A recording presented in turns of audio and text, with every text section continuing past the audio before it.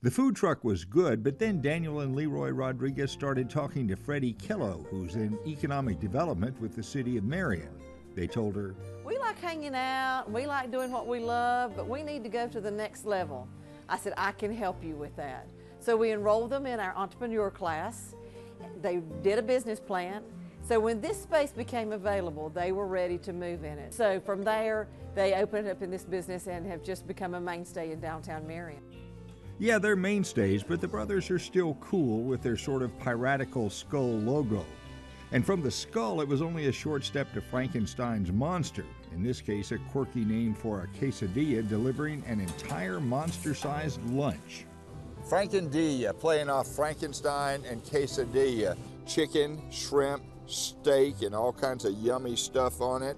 And uh, I said, hey, that's like almost like a Mexican version of a Supreme Pizza. He said, no, man, that's a Mexican calzone.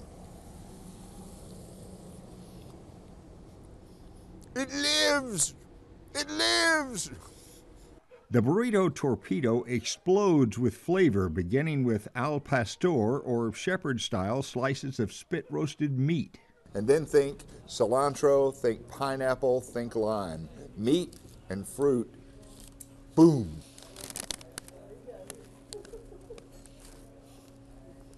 Mm. Mm, mm, These carnitas, pork tacos, really get my juices flowing. And would you look at the hefty hunks of avocado on those things? I am crazy about carnitas because they're pork. Enough said about that, and I'm even crazier about the salsa verde. Also, a huge fan of avocado. Mmm, mmm, mmm. Cilantro, onions, all the right stuff to put on carnitas. Mmm, wow. It seems like the majority of Mexican restaurants in North Carolina were started by someone relocating from somewhere else. But you you've been around. We've been here 20 years. We've been here for a while.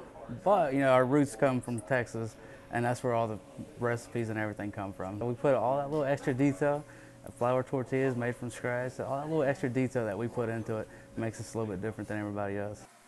Having run a food truck gives Daniel and Leroy an appreciation for the value of crossover type foods. They know customers sometimes just want all those Mexican flavors and textures, say the black beans, for example, to work their magic on something as basic as a steak sandwich. The steak torta has a name that always makes me think of a pie, you know, like a tort, and it's actually about as big as a pie, but it's a sandwich, of course.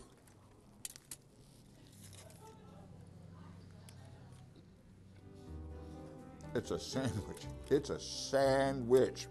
Most anyone will want to try one of Burrito Brothers' specialty coolers like the one featuring cold watermelon juice, especially if they're a North Carolinian who's ever enjoyed a cool watermelon when they got done putting in tobacco.